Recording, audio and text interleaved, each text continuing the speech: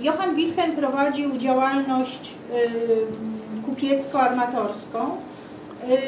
Był bardzo aktywny rzeczywiście jako, jako kupiec. Mieszkał, y, używał bardzo konsekwentnie tych swoich dwóch imion. Na pewno już wówczas obie postacie mogły być mylone. W związku z tym Johann Wilhelm konsekwentnie podpisuje się zawsze dwojgiem imion. Natomiast Johann nasz jednym imieniem. Johann Wilhelm mieszkał przy Chlewnickiej 38. E, Był właśnie kupcem zbożowym, armatorem, miał udział w licznych statkach, brał udział w licytacjach tych statków, e, był seniorem gminy reformowanej. No dochodzi tu do, do pewnej takiej e, sp- sprzężenia tych obu postaci, ale my zajmujemy się naturalnie Johannem Ukhagenem, a nie Johannem Wilhelmem. Y, Pokazuję tutaj, proszę Państwa, wyrys, bo to jest bardzo ważne, wyrys z planu Buzego, na którym widzicie Państwo ulicę Ogarną i ulicę Długą i pokazuję tutaj to, co Johann Ukhagen zakupił od rodziny Czapskich, od rodziny, która po biskupie Czapskim tą nieruchomość miała, Y, kamienica, oficyna podłużna, oficyna poprzeczna, kolejna oficyna, kolejne króciutkie skrzydło boczne, niewielkie podwórze, stajnie i budynek tylny z bramą od ulicy Ogarnej. To wszystko, te 77 metrów zabudowy, Johann Ukhagen w 1775 roku nabył i natychmiast zlecił przebudowę. Fasada domu Ukhagena, już bez przedproża, o które, które pokazywałam na Chodowieckim, sień, która, i właśnie o tym za chwilę będziemy mówić, dlaczego tak się stało, że, że, że to wszystko tak, tak tu przetrwało, ale najpierw właśnie troszkę, troszkę tych obrazków pokazujących, jak dom Hagena w tym czasie y, okresu, kiedy istniało tutaj muzeum, wyglądał.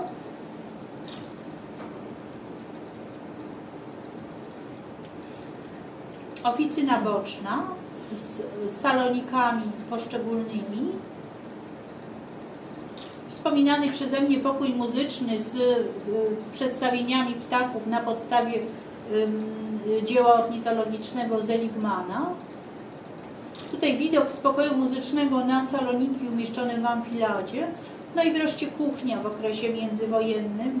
Mamy nadzieję na to, że kuchnia zostanie od nowa zaaranżowana i podwórze, które, jak Państwo wiedzą, od dwóch lat jest w sezonie letnim udostępniane. W trosce o swoje, y, swój majątek, a także pragnąc zagwarantować opiekę i dalsze trwanie kamienicy przydługiej zgromadzonej biblioteki, Johann Ukhagen jeszcze za swego życia w 1789 roku powołał fundację rodzinną dla uczczenia pamięci swoich rodziców, czyli Petera Ukhagena y, i Elizabeth y, Ukhagen z domu Foret.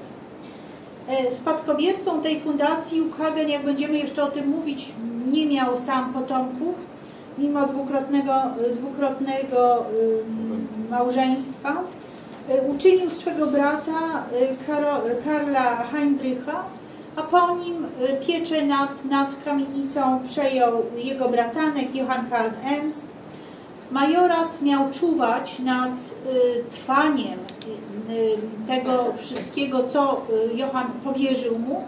Przede wszystkim chodziło o to, żeby kamienica przy Długiej 12 nie została przebudowana.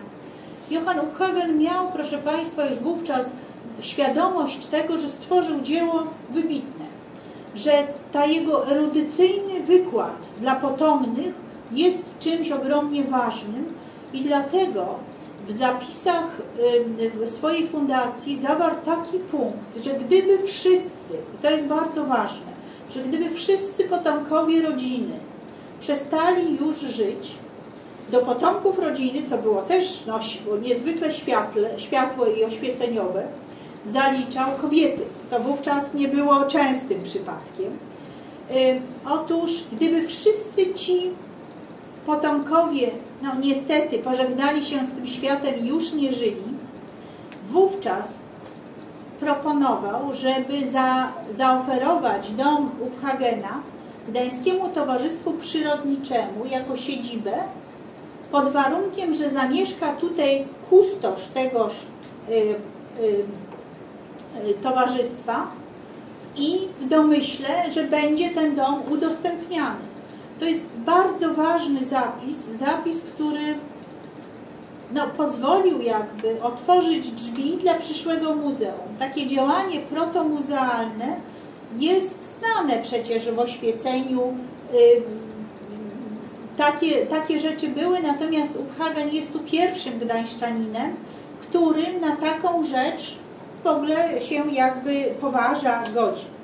Stąd też później, kiedy rodzina zaoferowała, czy w drodze negocjacji zaoferowała właśnie kamienicę y, jako muzeum, miasto naturalnie natychmiast zawarło porozumienie, początkowo na 30 lat, później to porozumienie przedłużono y, i kamienica rodziny Uphagenów stała się drugim w Gdańsku po Muzeum Miejskim otwartym w 1911 roku muzeum. Ale dlaczego mówię o tym wszystkim jeszcze dobitniej? Otóż spójrzcie Państwo na ulicę Długą w XIX, a później w XX wieku nie inaczej ona wyglądała. Zniknęły przedproża w przyziemiach kamienic, które stały się często domami czynszowymi, a nie już jednorodzinnymi domami mieszczańskimi bo ci bogaci mieszczanie wyprowadzili się po prostu do Wrzeszcza, do Sopotu, y, z, z głównego miasta, a tutaj zagościły banki, zagościły restauracje, y, kawiarnie, biura.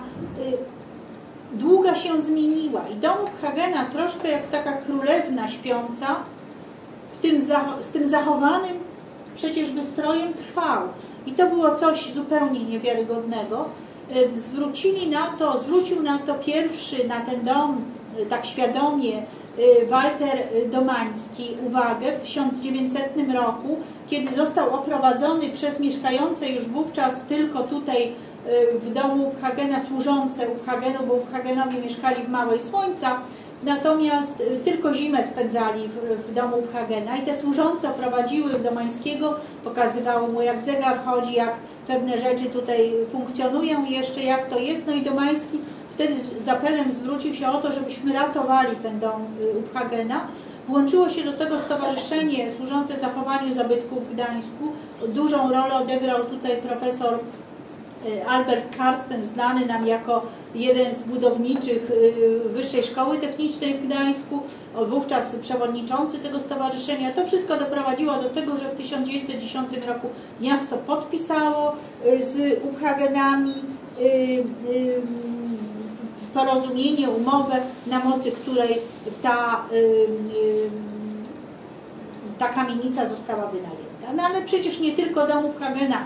Wspomniałam na początku mojej tutaj wypowiedzi o tym, że Uphagen y, kupił, y, był właścicielem nie tylko domu Uphagena, ale także licznych innych y, nieruchomości na terenie miasta, ale także nabył stosunkowo późno, bo w 1790 roku nabył od doktora Georga Ernsta Remusa, swego sąsiada kilka kamienic dalej, mieszkającego przy Długiej, posiadłość Montplaisir. I tutaj chciałabym na tą posiadłość Państwu zwrócić uwagę, a tu park rozciągający się, zajmujący ten teren, aż do potoku oczywiście, no, ten ogromny teren.